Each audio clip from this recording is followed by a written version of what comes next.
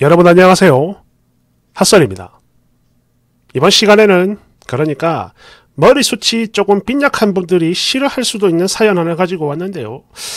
오늘 이러다가 그 탈모 갤러리 테러 와가지고 탈모 빔 하고 쏘는 거 아닌가 모르겠다. 어, 일단 봅시다. 제목 맞선을 봤는데 나이 많은 대머리에다 가만 보니까 돈도 없네. 그래서 뻥 차버렸는데 이런 제가 속물은 아니겠죠. 원제 7살 차 머리 벗겨진 43살 남자 차버렸는데 제가 속물인가요? 여러분 안녕하세요. 저는 36살 직장인 여자입니다. 지금까지 많은 연애를 해왔고 그 중엔 3, 4년 정도 오랜 기간 만난 사람도 있었어요. 하지만 결과는 다 헤어짐이었습니다. 대부분 자연스럽게 우연히 만나 사귀게 된 경우였어요. 그러다 2주 전 저희 엄마의 상화에 못 이겨 생애 처음으로 맞선이라는 걸 보게 됐습니다. 저희 엄마가 평소 자주 가는 단골 식당이 있는데 그 사장님이 아는 분의 아들이라고 하더라고요. 아무튼 그렇게 그분을 만났습니다. 참고로 이분의 나이는 43살, 그러니까 저하고는 7살 차이죠. 사실 처음에 나이를 들었을 때 만나기 싫었거든요. 근데 사실 저도 뭐 이제 어린 나이가 아니고 또 결혼에 대한 제 나름의 어떤 조바심 같은 게 어느 정도 있는 상태라서 그래, 일단 만나는 보자. 이런 마음으로 나간 거였어요. 그랬는데, 역시는 역시나 제 마음에 들지 않았습니다. 우선 머리가 없어요. 다 벗겨지고 숱이 거의 없었습니다. 두피가 다 보이는 상태였고, 이후 마스크를 벗은 이 사람의 모습에 제 기분은 많이 우울해졌죠.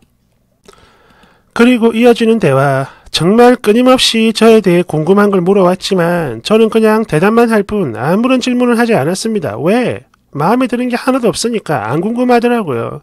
물론 그렇다고 제가 뭐 상대 외모나 저력을 보는 그런 사람은 아닙니다. 왜? 저도 잘난 게 없으니까요. 그래도 지금까지 만났던 사람들 중엔 금전적으로 힘든 사람도 있었고 외모는 그냥 다들 평범했어요. 하지만 이 남자는 그걸 넘어섰습니다. 그러니까 이거는 뭐 내 스타일이다 아니다 어쩐다 이런 레벨이 아니었던 거죠. 그렇게 어찌어찌 첫 만남이 끝나고 집으로 왔는데 진짜 마음이 너무 우울한 거예요. 특히 이 사람이 만약 내 마지막이라면 그렇다면 너무 억울한 거 아닌가 이런 생각도 들었습니다.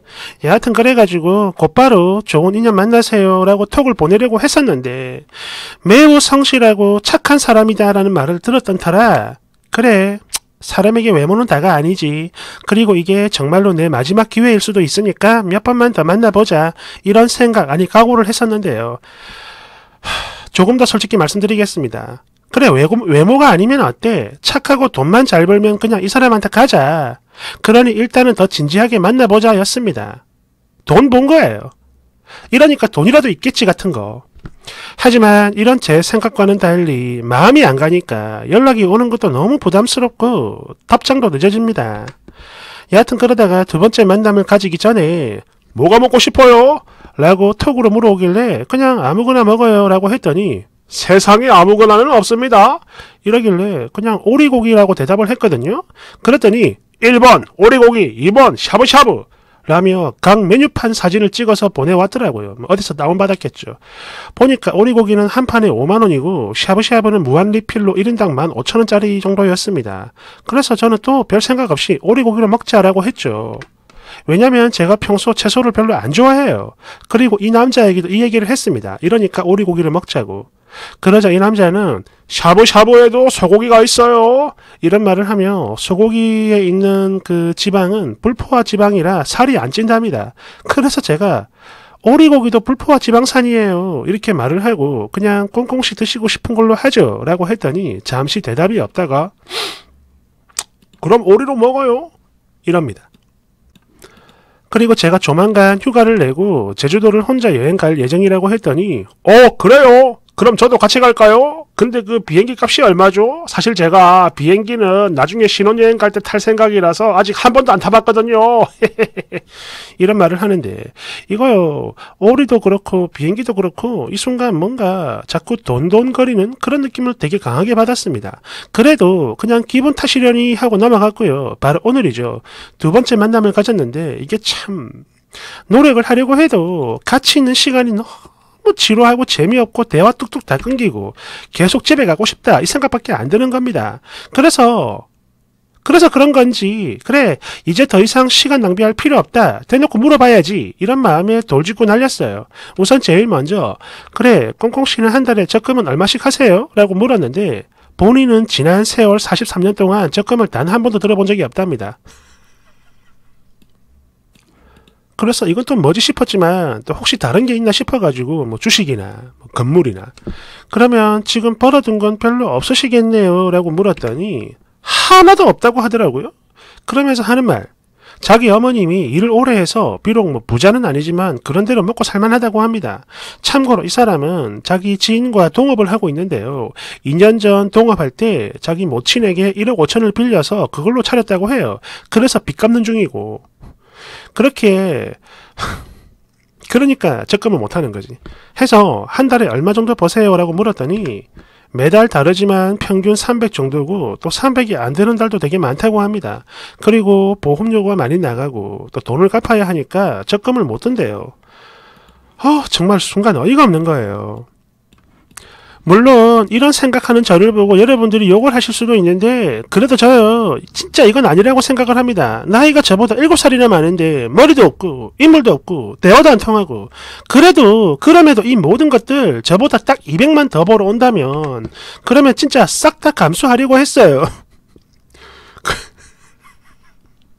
그 런데 제 월급과 비슷하게 버는 남자, 거기다 모아둔 돈 하나 없고 미래도 안 보이고 순간 이 사람은 내가 만날 필요가 없다라는 걸 느꼈습니다. 그래서 몸이 아프다 하고 바로 집에 와버렸는데요. 오자마자 우린 인연이 아니다. 좋은 분 만나세요. 이렇게 톡 보냈습니다. 그러자 한 두 시간 정도 답이 없더라고요. 그럼 뭐 그러다가 뭡니까? 뭐 제가 벌어둔 돈이 없어가지고 이러는 겁니까? 이렇게 물어와요. 해서 그건 아니라고 했죠. 사실 외모가 조금 괜찮거나 대화라도 잘 통했다면 그랬다면 저도 이렇게까지 하진 않았을 거예요. 그런데 그 어떤 것도 마음에 드는 게 없으니까 하여 그냥 솔직하게 제 마음을 다 얘기했죠. 만나기 전 설렘이나 기대 같은 거 하나도 없었고요. 만나면 너무 지루하고 집에 가고 싶어 집에 가고 싶어졌어요. 죄송합니다. 만나면 너무 지루하고 집에 가고 싶어졌다고요. 해서 이러고 있는 건 우리 둘 다 시간 낭비라고 판단해서 그래서 그런 거니까 더 이상 의미 없는 거예요. 이렇게 말을 했는데 그랬더니 이 남자 반응이 하... 여러분 혹시 정말로 제가 아직 철이 없는 건가요? 저는요 막 돈 많은 사람을 찾는 게 아니에요. 그렇다고 막 되게 잘생긴 사람을 찾는 것도 아니죠.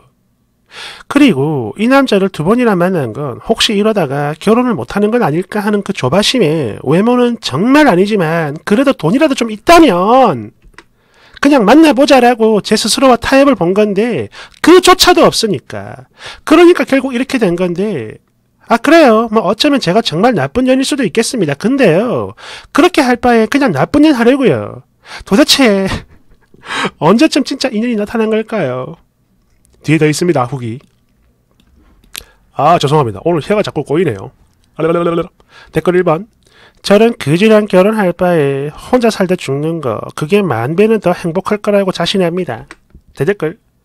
나는 쓰니 마음 이해가요. 40대 못생긴 대머리 남자는 절대 추구도 못 만나겠어. 참고로 저 35살입니다. 2번. 그렇게 상대방 탓만 하면 결국엔 자기 발전이 없는 겁니다. 스스로의 가치가 낮으니까 좋은 인연이 안 생기는 거죠. 그러니까 남 탓은 멈추시고 이젠 자기의 가치를 높이세요. 3번. 그러니까 난 탓 안 하고 나 혼자 살다 죽겠다는데 뭔 개소리야. 너도 40대 대머리 못 소리냐? 4번. 나이가 많은 게 문제가 아니야. 대머리도 괜찮고 돈이 없는 거 뭐 이거 역시 아쉽긴 해도 어쩔 수 없는 거니까 이해를 해. 근데 저렇게 생각이 없고 주제를 모르는 거 이건 절대로 용서가 안 돼. 지금 어따 들이대는 거야. 특히 오리고기 샤브샤브. 와 진짜 이거 와장창이다. 5번 저 나이에 돈도 없고 메뉴판에 무한 리필집이라 센스도 없고 머리숱도 없고 엄마한테 돈 빌리고 이거는 남자 외모가 강동원 조인성이란 조건에다가 제가 애 딸린 돌싱이어도 만나기 싫을 거예요. 그지 같아. 6번 아니 중매도 잘못하면 욕 먹는 걸 모릅니까? 그 사람은? 나이, 외모, 돈까지 삼진 아웃이네 정말. 그리고 쓰니 급하다고 다 그렇게 내려놓고 그러지 마요. 이상한 결혼을 하느니 차라리 혼자 사는 비혼이 더 낫습니다. 7번 결혼을 꼭 해야 됩니까? 혼자 살 수 있다면 혼자 사세요. 그리고 너무 심하게 하자 있는 인간을 만나셨는데 왜 본인 탓을 하는지 모르겠습니다. 아, 제가요, 만약에 그런 사람 만났으면 밥도 안 먹고 그냥 바로 나왔을 거고 엄마한테도 욕했습니다. 엄마한테도. 대댓글. 그 어떤 여자여도 싫었을 거예요. 이거 절대 속물 아닙니다. 만약 순이가 속물이라면 그러면 저 남자는 뭐라 불러야 돼요? 어? 8번. 아니 지금 이게 말이 돼? 혹시 쓴이 엄마 계모 아닌가? 어? 9번. 나이가 많고 적고 머리가 있고 없고를 떠나 앞으로 평생을 함께 살고 자식도 낳고 그렇게 해야 되는데 마음에도 없는 사람을 어떻게 만납니까? 사랑하고 결혼하세요. 조금이라도 인연 있을 겁니다. 어딘가에는 분명히 추가. 댓글들이 엄청 많네요. 우선 저는 연애를 오랫동안 안 한 게 아니에요. 작년에 2년 동안 사귀던 연하 남친이랑 헤어지고 거의 6개월 만에 엄마 상화에 손을 봤던 겁니다. 그리고 엄마는 이런 사람인 줄 몰랐느냐 이런 댓글이 많은데요. 네 전혀 모르셨어요. 주선자가 그 사장님이 자기 사업을 하고 있고 또 집에 돈이 좀 있다. 그리고 착실하고 착하다 이런 말을 했었대요. 엄마는 그걸 믿은 거고요. 사실 저도 그렇게 잘난 사람은 아닙니다. 그래도 뭐 지방에서 나름 알아주는 4년제를 나왔지만 그냥 평범한 중소기업의 연봉은 4천 정도죠. 졸업 후 꾸준히 적금도 하고 그렇게 해서 지금까지 약 1억 2천 정도 모아놨어요. 그리고 할부가 끝난 차도 한 대 있고 또 적게나마 용돈벌이 목적으로 전날 작은 오피스텔 한 칸 경매로 올라온 거 좋은 가격에 매입해가지고 지금은 월세를 받고 있죠. 끝으로 외모. 이건 뭐 진짜 그런 건지 아니면 그냥 립 서비스로 그런 건지는 몰라도 타인들에게 미인이다, 이쁘다라는 말은 자주 듣는 편입니다. 다만 제 키가 좀 커요. 174에 몸무게가 63kg 정도 나가다 보니까 조금 세 보이는 그런 게 아마 있긴 했을 겁니다. 연애는 쉼 없이 해왔어요. 썸이나 잠시 스쳐 같은 인연까지 다 합치면 적어도 제 나이만큼의 사람은 지나갔을 거라고 봅니다. 그리고 그 사람은 첫 만남부터 싫었다면서 왜 또 만났느냐? 제가요, 지금까지 많은 연애를 해왔던 건 사실이지만, 사람 보는 안목이 없어서 늘 실패를 했었, 죠 항상 제가 더 좋아하는 연애만 했었는데, 이제야 나를 더 좋아하는 사람을 만나야 편하다라는 걸 깨달은 거예요. 그래서 나는 이 사람이 별로지만, 그래도 이 사람은 나를 좋다고 하니까, 돈이라도 좀 마, 많이 벌면, 그냥 가야겠다. 뭐, 대충 이런 아니란 생각을 했던 것 같아요. 여하튼 많은 관심과 댓글들 정말 정말 감사합니다. 안녕히들 계세요. 이건 뭐 딱히 할 말 없죠. 그냥 비극이지 비극. 응, 비극이야. 응. 응? 응? 맞잖아. 그죠? 감사합니다.